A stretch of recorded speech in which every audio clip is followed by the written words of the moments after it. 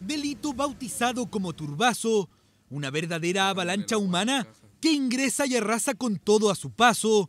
Así lo hicieron estos supuestos hinchas del club de fútbol Coquimbo Unido. Que hagan esto lo encuentro espantoso, aparte que es el único supermercado que hay. Los carabineros están a media cuadra más allá y no salieron a parar en los vehículos. El fútbol lo pasa a segundo plano con esta gente. No son hinchas del deporte, son delincuentes.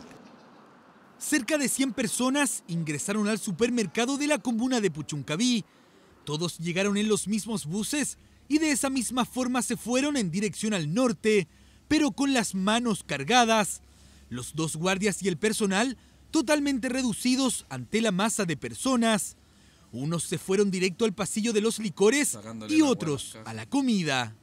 Aprovechándose del anonimato y la mayoría cometió un delito, eh, cometieron muchos delitos y yo creo que con eh, la, yo creo que se va a lograr identificar a los responsables tanto por las cámaras como por los propios declaraciones de los miembros, demás miembros de la barra. El robo se produjo después del encuentro de fútbol entre Coquimbo Unido y Everton en Viña del Mar. Ahora estas imágenes forman parte de una investigación del Ministerio Público y la Brigada de Robos de la PDI. Grabaciones claves donde se aprecian algunos rostros de los delincuentes que malamente se hacen llamar fanáticos del fútbol.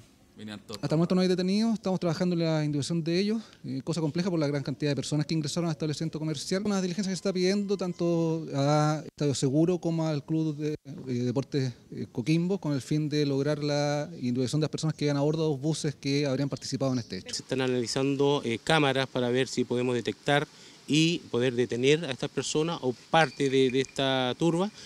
Tras ser consultado el club y a la vez aludido por los colores que visten los delincuentes, señalaron a través de un comunicado que si la autoridad maneja las identidades y fueran simpatizantes de Coquimbo Unido, tomarán todas las acciones en su contra que permite la legislación.